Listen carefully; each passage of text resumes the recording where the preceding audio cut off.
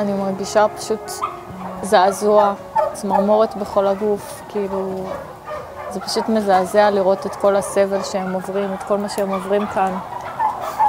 הרבה מהם עם בעיות ברגליים.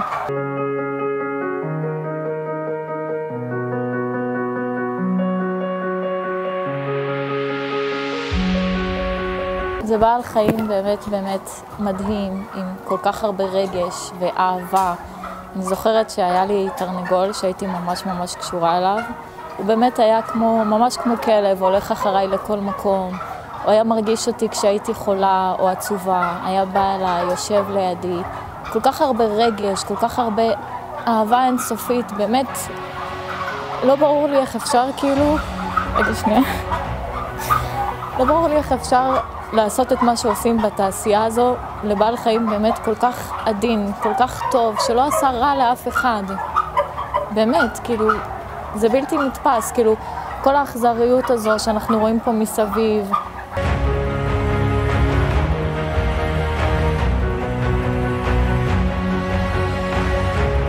אלה שגומרים אותי זה אלה שהתקווה עדיין לא עברה מהם. אלה שעומדים ליד הדלתות, ליד האורות, בין הפסיקים האלה של החלונות, שטיפה רואים חוץ, רואים שמש, רואים ירוק. הם מסתכלים, הם נשארים, והם חושבים שיגיע הרגע שהם יראו איתה בחוץ.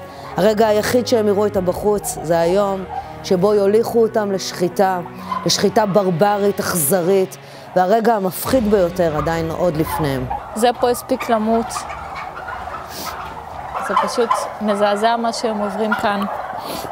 כאילו ראינו כאן בדרך מלא מלא פגרים, מלא גופות, מלא פצועים. הנה כמו שאפשר לראות את זה עם הרגליים שלו. הוא ו... עדיין חי בעצם.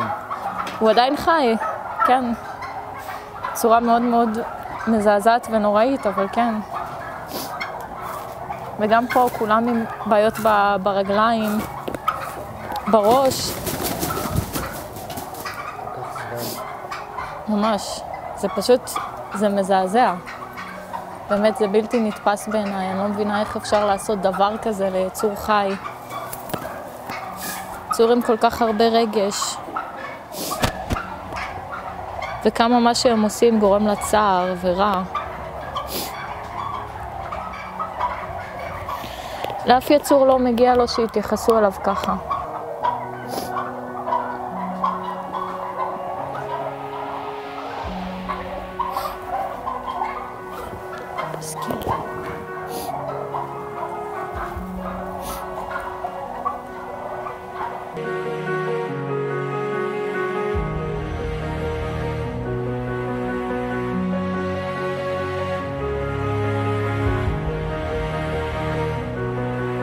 ופשוט הזדעזעתי מהמצב פה.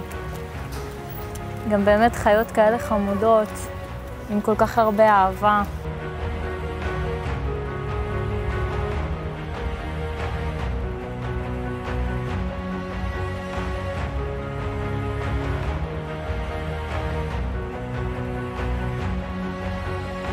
פשוט נדהמתי מכמה שהחיה הזו, הפרות, כמה שהן חברותיות, וכמה שהן אוהבות, כל האהבה שיש להן לתת. הן גם חיה ממש ממש סקרנית. חיה פשוט מקסימה. משתמשים בהן לצורך החלב שלהן, מזריעים אותן כדי שהן יוכלו לתת חלב, ואחר כך פשוט מנתקים אותן באכזריות מהילדים שלהן, שאין דבר יותר חמור מזה לעשות לאימא. ואחר כך, אחרי ששנים חולבים אותן, שכבר אין עוד מה לקחת מהן, שכבר אין עוד חלב שהן יכולות לתת, פשוט שוחטים אותן, כאילו כלום.